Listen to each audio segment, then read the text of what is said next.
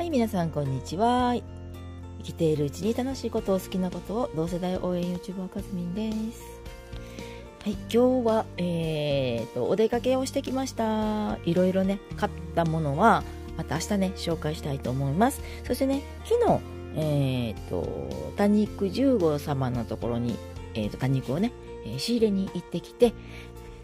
っちかな？もう、これ、あ、そうそうそう、ここね。はい、こんな感じで、あの、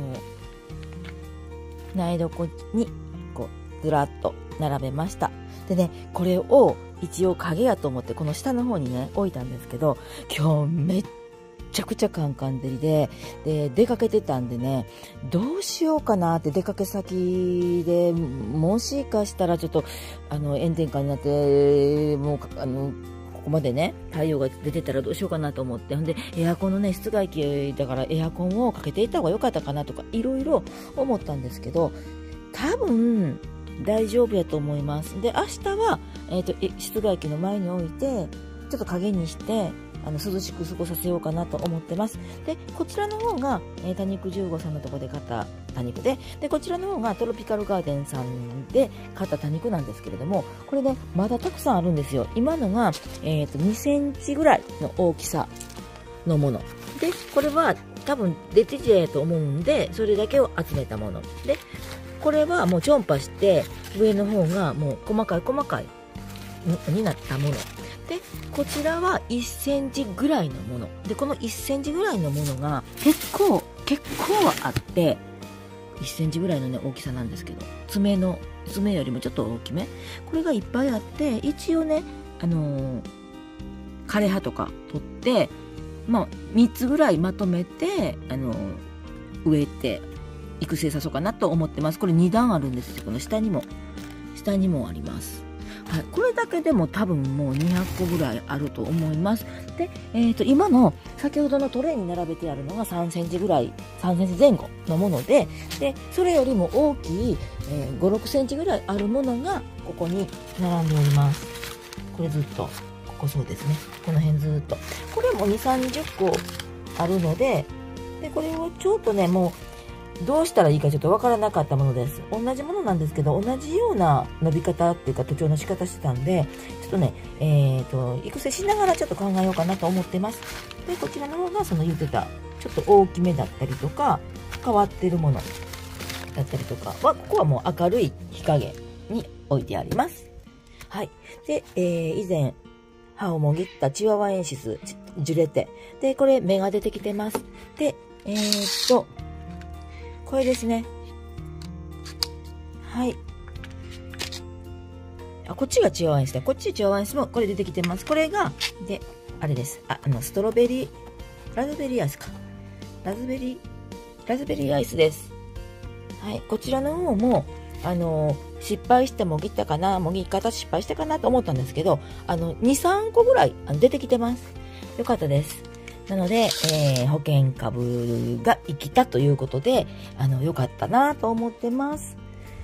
はい。それとこれが、えー、昨日、のトロピカルガーデンさんのトレイからの、その、裸足の分ですね。はい。裸足の分です。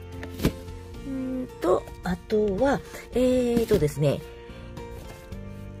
未生を、かな？未生を種ができました。受粉しました。えー、いつかな ?4 月、5月と受粉したやつがあるんですけど、ほんで、初めての受粉で、あの、谷友さんと一緒にしたんですけど、種がね、できてるかどうかわかんないんですけど、一応準備です。これまだ巻いてません。これで、えっ、と、種まきをしようと思ってます。これもね、また実験ということで、あの、これからね、また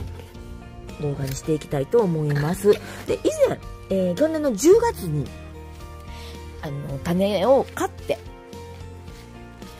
種種を買ってですね、えーメルカリさんで種を買って、えー、と、結構いろいろ芽も大きくなったもので、そして、えー春によし植え替えたもの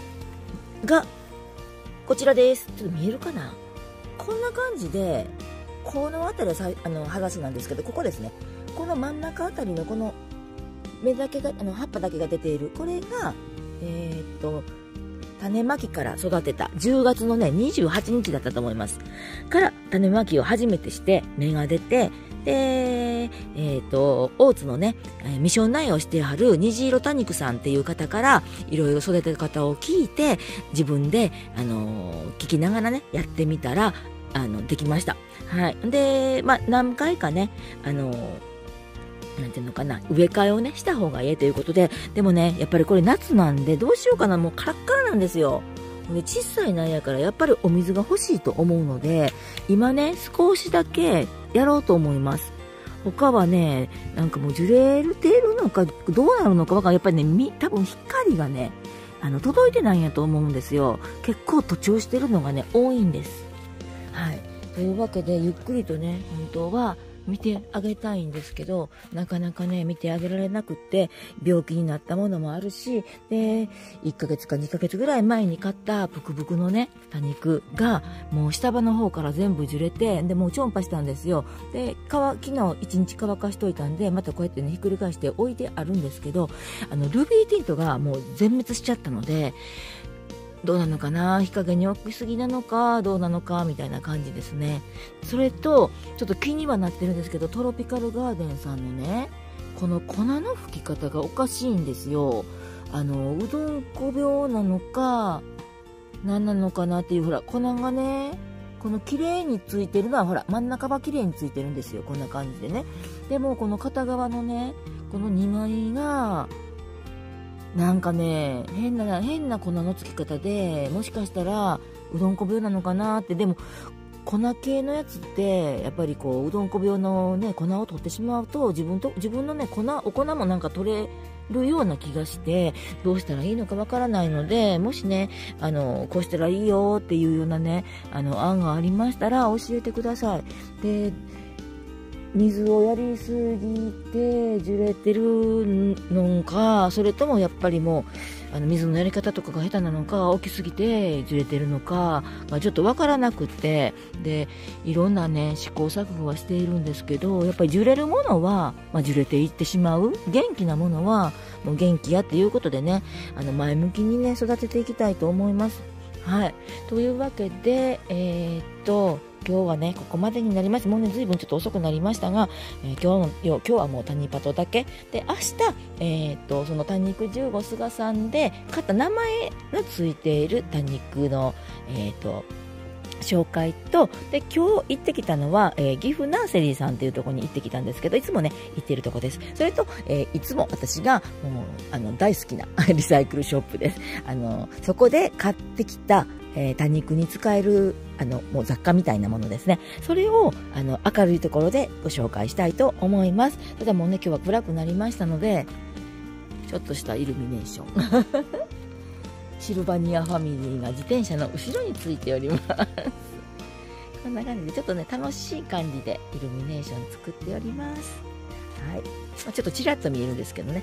これを買ってきました。あとはまあ大丈夫そんな感じするので明日もね朝一、えー、子供を送ってからその後からずっともう一日中えっ、ー、とあ、明日一日、ごめんなさい。明日はイベントです。ごめんなさい。あ、もうボケている、ボケてます。明日は、えー、大津市片田、えー、片田道の駅、米プラザ道の駅にて、箱庭箱庭ですね。箱庭セラピー、多肉箱庭セラピーをしますので、えっ、ー、と、以前、えっ、ー、と、地元の方でね、えっ、ー、と、ウォーリスの、え、ごじゃまじマルシェでさせていただいた箱庭と同じです。えっ、と、セダム。セダムの苗を持っていきます。はい。それで、えー、セダムの苗と私の、えー、リメイクした鉢ですね。そちらの鉢の値段と、プラスセダムの、えっ、と、お値段お値段で、えー、優勢上の方をさせやややっていただけますので、ぜひね、参加ください。今の期間だけ、えー、プラス300円でやれるので、これもうちょっとね、経ったら、あの、プラス500円になりますので、今、えー、プラス300円でこの寄せ植えができる時にね、ぜひ、あの、来ていただけたらなと思います。そしたら明日は、えー、滋賀県大津市片田えー、米プラザ道の駅8時からです。8時から12時から1時ぐらいまでの間です。朝一なので、お昼までで終わってしまうので、それぐらいまでの間になりますが、よかったらね、あの、ごら、ご来場ください。そしたら今日はここまでになります。皆さんありがとうございます。チャンネル登録もね、あの、またね、徐々に徐々に、あの、増えてきまして、あの、嬉しいです。はい。で、コメントもね、いっぱいいただいてて、めっちゃ嬉しいんですよ。私もおしゃべりするのがすっごい好きやから、あの、コメントでもね、あの、おしゃべりが好きなんで、イベントでもね、あの、全然、あの、遊びに来ていただいて、あの、どうやこうやああやって言ってね、いろんなね、楽しいお話ができたらなと思いますので、ぜひ来てくださいね。バイバイ。